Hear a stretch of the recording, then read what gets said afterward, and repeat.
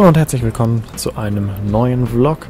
Und heute zeige ich euch einmal die Stadt St. Gallen. Ich habe hier mit der Bahn eine Umsteigezeit von etwa einer Stunde und ich zeige euch einfach mal, was man so in einer Stunde alles von St. Gallen sehen kann. Wir starten im Hauptbahnhof.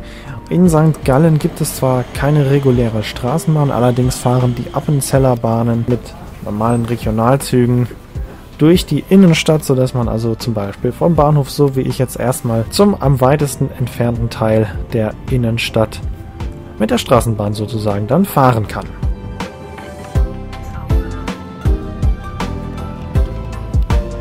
Die Station in St. Gallen im gleichnamigen Kanton St. Gallen, an der ich aussteige, heißt Spiesertor und das ist auch der am weitesten entfernte Teil der Innenstadt vom Hauptbahnhof aus gesehen.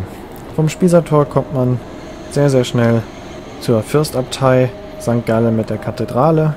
Die befindet sich nur wenige hundert Meter von der Haltestelle entfernt. Das ist schon einer so der zentralen Plätze, zentralen Sehenswürdigkeiten von St. Gallen, die man sich auf jeden Fall mal anschauen sollte.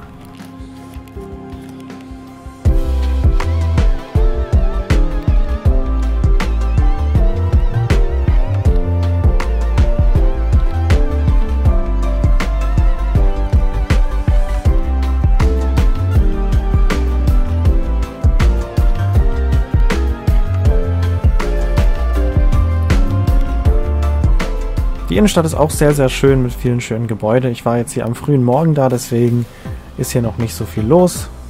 Aber natürlich dann, wenn die Geschäfte alle offen sind, ist das auch noch ein bisschen belebter. Aber trotzdem ist St. Gallen einfach eine wirklich sehr ruhige und gemütliche Stadt.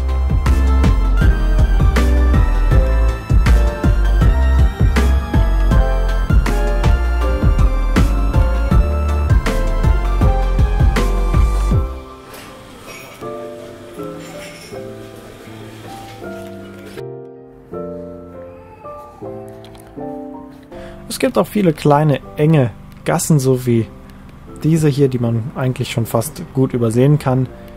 Ist aber trotzdem ganz interessant. Hier sieht man, die Häuser werden oben breiter. Dann hier unten kann man durchlaufen und oben berühren sie sich dann an den Dächern sogar. Also kleine, interessante Sachen sieht man immer wieder in St. Gallen. Lohnt sich also mal immer genau aufzupassen, wo man so lang läuft. Da sind immer viele versteckte kleine Sachen, die interessant sind.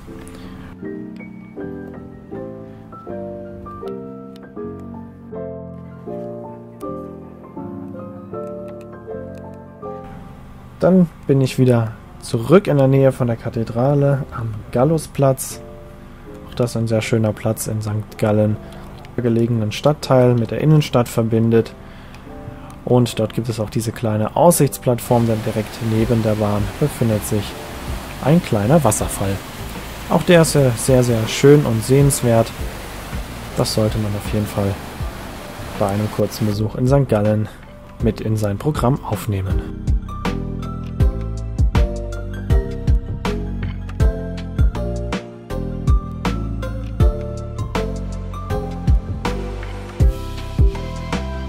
Ja, und dann das letzte Highlight, was man sich unbedingt noch anschauen muss, das ist der Rote Platz, wie ihr hier unschwer erkennen könnt, warum der so heißt. Die Kunstwerke an der Decke habe ich leider nicht so ganz verstanden. Für mich sieht es aus wie fliegende Kartoffeln. Wenn jemand weiß, was es tatsächlich darstellen soll, könnt ihr das gerne mal in die Kommentare schreiben.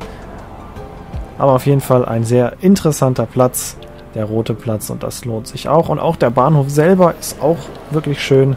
Auch den sollte man sich mal in Ruhe anschauen. Das war's für dieses Video. Das waren 60 Minuten in St. Gallen. Also alles, was ihr gesehen habt, habe ich innerhalb von 60 Minuten erkundet. Da habt ihr schon mal einen Eindruck, was man hier so machen kann. Hier seht ihr auch, von wem die Musik ist, wann das nächste Video kommt. Und ich sage danke fürs Zuschauen, würde mich über Likes, Kommentare, Abos oder einen geteilten Link sehr freuen. Und wir sehen uns dann im nächsten Video wieder.